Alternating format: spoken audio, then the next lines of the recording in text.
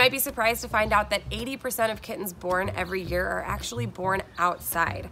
I think that's because animal welfare has done a great job of educating people about the importance of spay neuter for pet cats. But what? Oh. Shh. Are we about to catch this cat? As a kitten rescuer, I am constantly getting kittens off the street. People find kittens outside and they bring them into the shelter or to a rescuer like me, and they don't necessarily see the bigger picture. So when you find a kitten outside, that means that there is a breeding colony of cats there. Kittens don't just materialize or get dropped out of the sky from a stork. These kittens have a family that is breeding. That's why it's so important if you're doing kitten rescue that you're doing the other side, which is trap, neuter, return. Trap, neuter, return is where community cats who live outside in the neighborhood are trapped using a humane trap.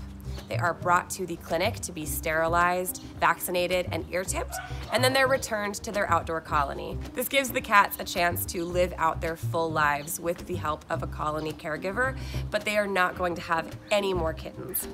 The neighborhood I'm standing in right now was a recent call that I got about two kittens in need. All the time, it's like the one cat just keeps having kittens and kittens and kittens, and I just keep finding homes. And uh, you know, all my friends are so tired. Like, no, no, nobody wants a cat. The one I call Mama Kitty, she just keeps having litter after litter after litter and like I will feed her and watch her eat and I can see babies moving around in her tummy we've exhausted all, everything we can do to even find homes, you know? When we showed up to get the kittens, we were only able to locate one of them, and he was a little white kitten who was on death's door. This little kitten was with us for only an hour. We rushed him to the hospital, and he was not viable, and he had to be euthanized. It was devastating. I only knew this kitten for one hour, and there I was crying, sobbing, watching this kitten be euthanized. This was a completely preventable situation through sterilizing the cats outside.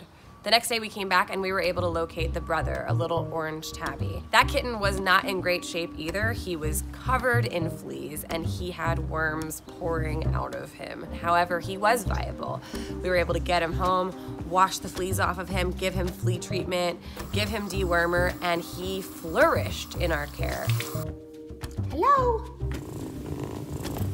Because we got him when he was about six weeks old, we were able to get him socialized, get him healthy, and get him adopted. These are kind of the things that you see when you're working in a colony like this. You see really, really sad things. High mortality of kittens on the street who cannot survive in these conditions. And then you see some kittens who do survive and maybe even thrive. Those kittens, if they grow up, they become community cats. The community cats who live here are just kittens who were born in bushes who nobody came and rescued. We were able to stop that cycle for Flapjack by getting him into a home, but really ending the cycle for the whole family means coming back to the colony and getting everyone sterilized. So we've been able to locate the parents. We have eyes on the mama cat who is a fluffy tortie and the dad cat who is a buff cat. Um, and we're hoping that we're gonna be able to catch both of them. Uh, the goal here is really to make sure that no more kittens are born in these bushes or under these cars. We wanna get all of them sterilized uh, so that we don't have more situations like Flapjack and his brother Butter. People in the neighborhood care about these cats. Yeah, there's several people. Um, our neighbor here will feed them. They will feed them. We will feed them. So they're cared for and they're cared about. Yes. They just are breeding. Yes, they're giving us more kittens to end up making care. So Yeah, more kittens than you need. Yes, more kittens than we want.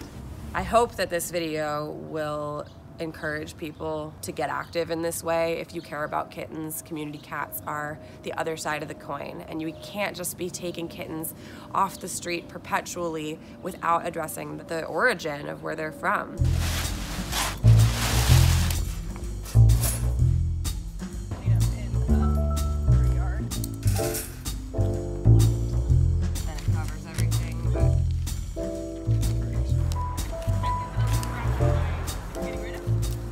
So we are ready to trap. We have lots of different kinds of bait. We have mackerel, sardines in oil, lots of stinky stuff that we hope will attract all the cats. We have some wet food, some tuna, and we even brought some dry food because a lot of cats actually will be easier to trap with dry food because it's oftentimes what they're used to. So hopefully something we have here will be uh, stinky enough to get these cats to come out and go into the traps. At least three or four under this. Sardine juice.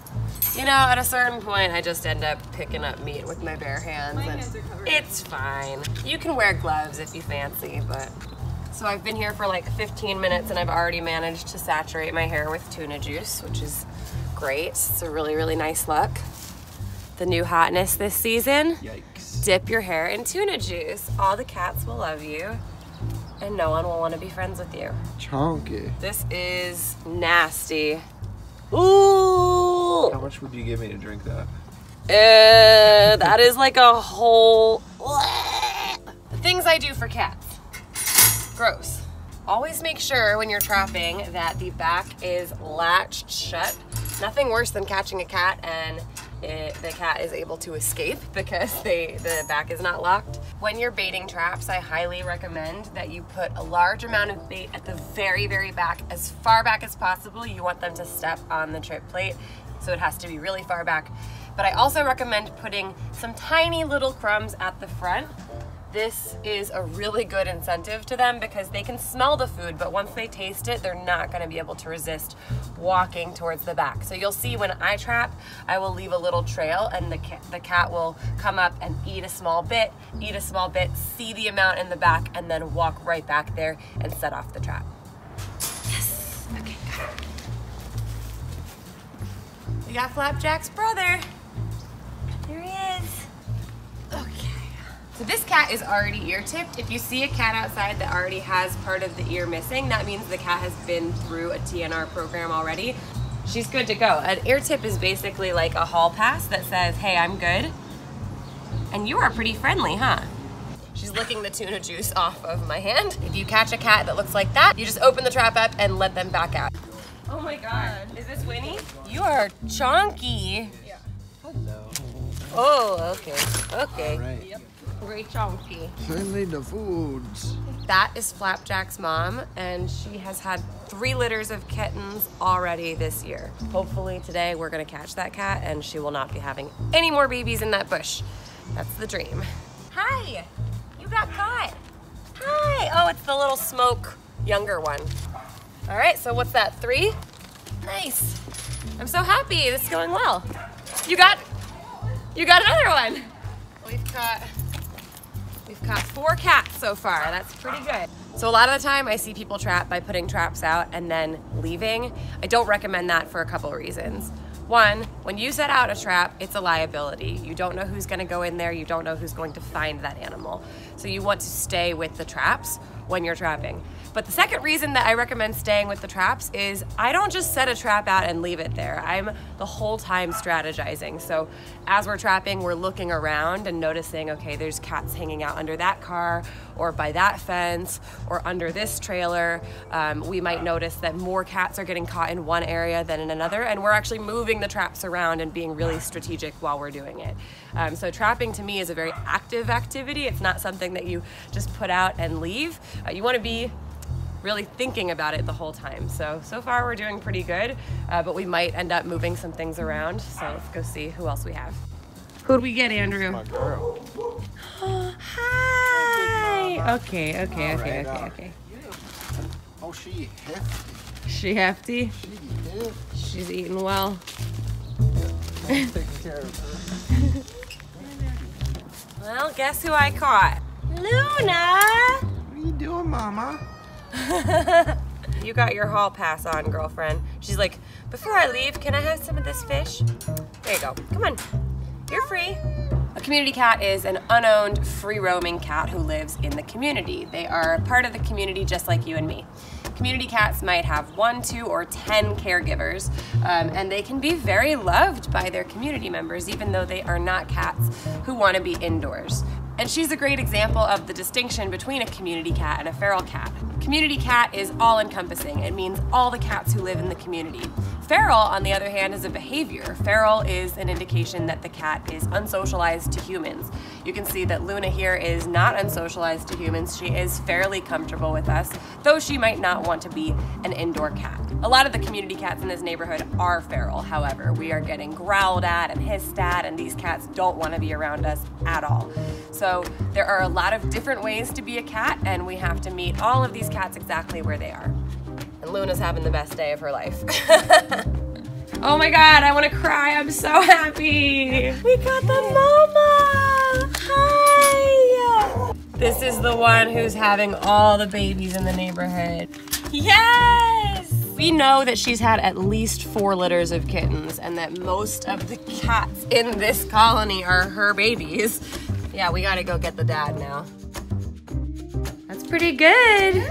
All right, so we got six cats this morning. We're gonna go back at dusk when the cats are active again and see if we can't get a couple more. I feel very good about this. Hey, Daddy. Papa Jack. we got him! We had to come back at nighttime to get you, but we got you. Yeah! He's, resigned. He's like, oh man. no more babies. Yep. No more babies for you. No more babies, no more balls.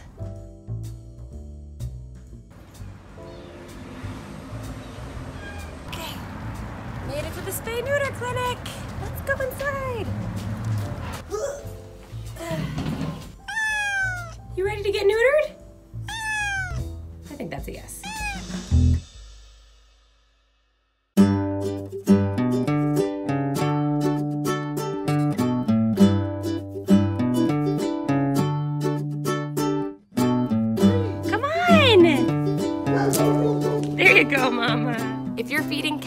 Live outside in your neighborhood, please make sure you're getting them trapped, neutered, and returned.